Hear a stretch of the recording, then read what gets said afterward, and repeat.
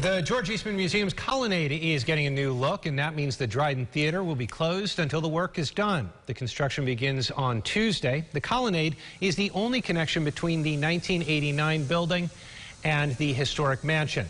Museum officials studied the property to figure out where renovations are needed. The museum will remain open during the construction.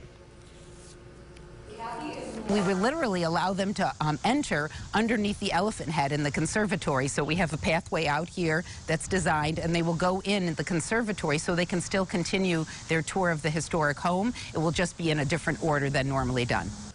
Ah, the elephant head. We're told the project will be completed by the middle of October and the Dryden Theater will reopen on October 11th.